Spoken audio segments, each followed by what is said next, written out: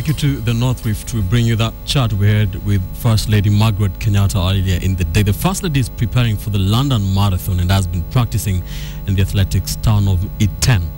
Edith Kimani caught up with her on a windy morning just as she finished her run.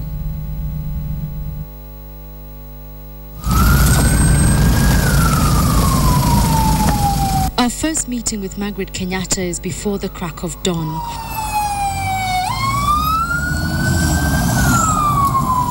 We have gone to Iten where she's training for the London Marathon and we get to the training grounds before she does. Upon her arrival, it becomes clear that this is going to be no ordinary training.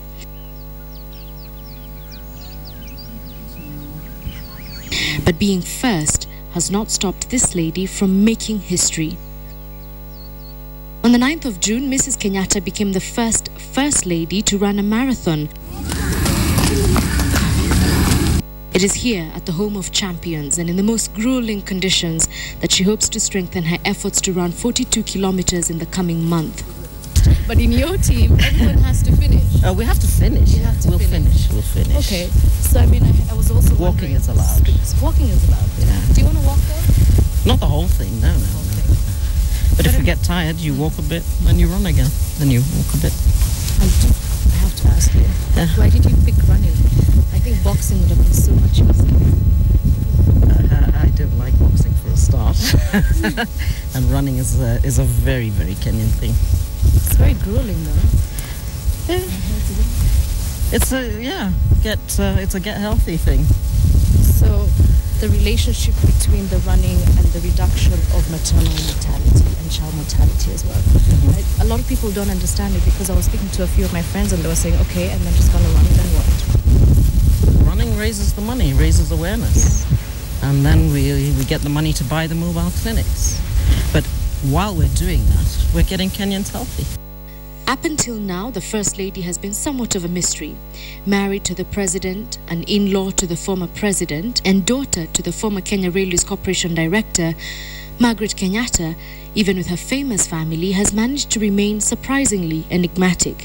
Then there is a style icon status she has received. From her hair to her clothes, and even her voice. Bloggers have written everything they can about what they see, which leads me to an unconventional discussion. Let's talk about the hair now. because everyone You mean you're serious? Yes, I'm serious. Everyone asks about your hair every time there's a hair blog. Have you not seen? no, Everyone talks about your hair. So I was told it's natural. It's naturally. Yes, and it's pepper. natural. Yeah. It's naturally salt and pepper. And so you wake up in the morning, a quick rub, and that's Just brush it, yeah. A quick brush, and that's it. and that's it. I really like it. Thank you. Do you mind if I keep? No. Sorry, that's a strange request. it's quite nice. I noticed one of her staff pointing at her wrist. Our time is up and we have to end our conversation. The First Lady, however, says that Beyond Zero is just the first of many plans she has for the health sector. Once we've gone beyond zero in the maternal and child health, Yeah. we move on to the next the next health issue. Do you know what that's going to be, or do you have television? I haven't. now? Yeah, right now we need to sort this one out first.